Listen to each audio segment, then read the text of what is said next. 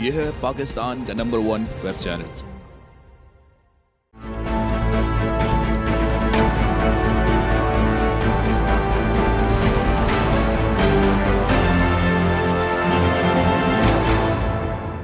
بسم اللہ الرحمن الرحیم۔ السلام علیکم۔ ویژن نیوز کی اب تک کی تازہ ترین ہیڈ لائنز کے ساتھ میں ہوں کانتا امتیاز اور میرے ساتھ موجود ہیں۔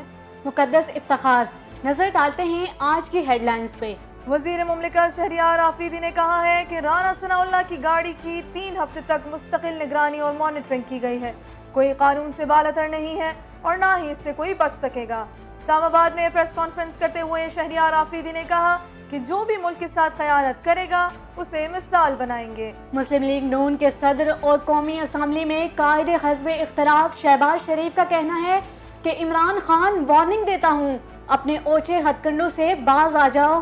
کارکنوں کو نواز شریف سے ملنے دو۔ سابق وزیر اعظم اور مسلم لیگ نون کے رہنما شاہد خاقان عباسی کہتے ہیں کہ رانا ثناء اللہ کی گرفتاری تاریخ کا سیاہ باب ہے۔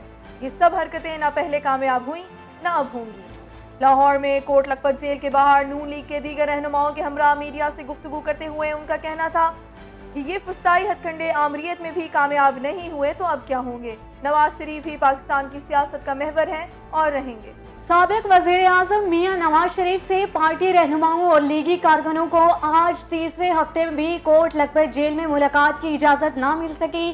شہباز شریف، مریم نواز، کیپٹن ریٹائرڈ صفدر اور بہن سمیت شریف خاندان کے صرف پانچ ارکان نے آج دو گھنٹے جیل میں میاں نواز شریف سے ملاقات کی۔ قومی احتساب بیورو نیب کے chairman justice retired Javed Iqbal کا کہنا ہے کہ ایک طبقہ پینتیس چالیس سال برسر اقتدار رہا اور دوسرا چند مہینے۔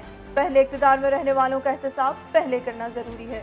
تقریب سے خطاب کرتے ہوئے chairman NAB justice retired Javed Iqbal کا کہنا ہے کہ نیب سیاسی انتقام پر یقین نہیں رکھتا، ہمارا کام صرف ملک سے کرپشن کا خاتمہ ہے۔ اسلام آباد کارپوریٹ بزنس کا ہب ہے، جہاں پاکستان بھر سے لوگ کاروبار کرنے آتے ہیں۔ کاروبار میں اتار چڑھاؤ اور مارکیٹ میں سب سے نمایاں رہنا ہر شخص کی خواہش ہے۔ ہینگ آؤٹ اسلام آباد میں کل جمعہ شام چار سے سات بجے کاروباری مسائل سے نمٹنے کے لیے ورکشاپ کا انعقاد کیا جا رہا ہے، جس میں آئی ٹی کے جانی مانی شخصیت مائکروناکس کے بانی اسد رفیع لوگوں کو ٹریننگ دیں گے، جس میں اسٹوڈنٹ کاروباری لوگ سٹارٹ اپ کے لوگ شرکت کر سکتے ہیں۔ اب تک کے لیے اتنا ہی۔ مزید خبروں اور اپڈیٹس کے لیے دیکھتے رہیے۔